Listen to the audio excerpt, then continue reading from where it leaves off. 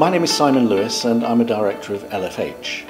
In my forthcoming talk, as part of the Bridge Talk series, I'll be looking at how it can be very difficult for businesses in today's competitive environment to stay focused on the future. The reason it's important to stay focused on the future is because that's what's coming next. So many businesses look at today's workload, today's scheduling, today's problems, running around fighting fires and things like that. Many other businesses focus on what came before, what happened previously. And in both situations, they're not looking at what their customers really want or where their customers are headed, whether it's in the service industry or manufacturing or any other type of organisation. And the reason that can become a problem is where you have a workforce whose job it is to deliver on tomorrow's promise for your business. So in my talk, I'll be talking about how these two things need to stay totally aligned so that you can avoid the pitfalls and take advantage of all the successes.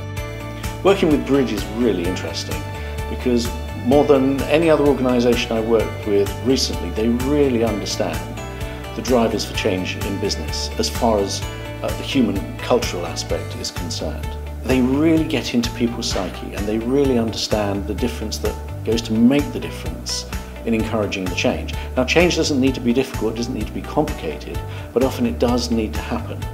And in any employee environment, people can instinctively, and usually for no valid reason, be quite resistant to that change. What Bridge does is works with the teams involved to really get them on board and have them understand why the benefits are so important.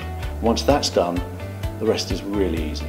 It's really important to have uh, an employee culture. Really, it's the glue that holds the organisation together. Doesn't matter what the organisation it is, whether it's the service industry or whether it creates products or does manufacturing in some way.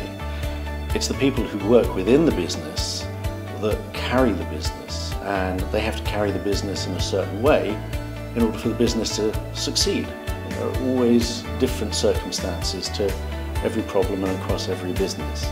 Really the common theme is in the educational side uh, by which I mean having the team, whoever they are, really understanding why something needs to be done, what it's all about, and then figuring out either collectively as a directive, how to make the change necessary. Sometimes what's really important in organisations is that you need to give permission for creativity to come through.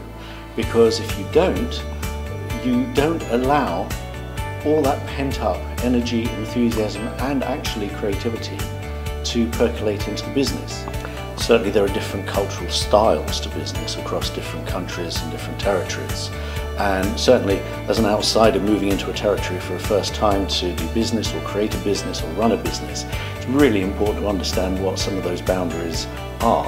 And some of these can be really refined nuances. It can take a little while, even a long time, uh, to figure out. But it's really important to, to, to do that because what might be appropriate in one environment, in one culture, in one territory, may just be completely inappropriate in another one. My leadership style is creative, enthusiastic, and as dynamic as I can reasonably be. You've got to be able to show your team that you're prepared to walk the talk. Otherwise, it's just words.